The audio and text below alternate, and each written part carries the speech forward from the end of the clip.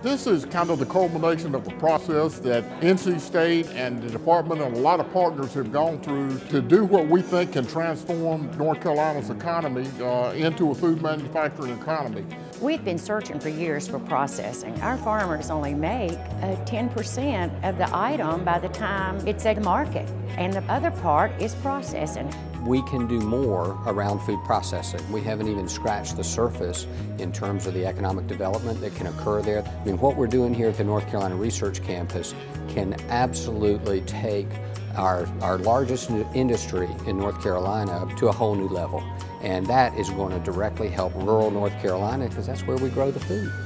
Well, this is going to create jobs, and which is in turn going to create revenue not only for the states, but for the municipalities and counties in which these plants are located in. A pilot plant facility such as the one we're envisioning would provide flexibility to actually scale up, commercialize ideas.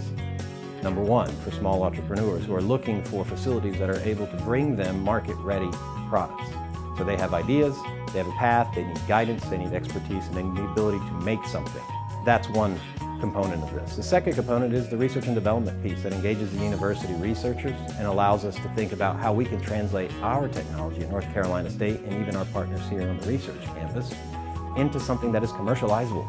And that's the third piece, the multinationals, the large national and international firms that the food industry itself and the equipment manufacturing industry and ingredient manufacturing industry that's not just looking for new ideas, but is looking for centralized areas where they can actually innovate collaboratively, both with faculty as well as with new entrepreneurs. Knowing that we already produce majority of the fruits and vegetables on the East Coast here in North Carolina, and we're the third most diversified state when it comes to growing crops in North Carolina, and also knowing that we ship out over 80% somewhere else to be processed, this is a win-win situation. So we think this is the defining moment uh, for the future of North Carolina.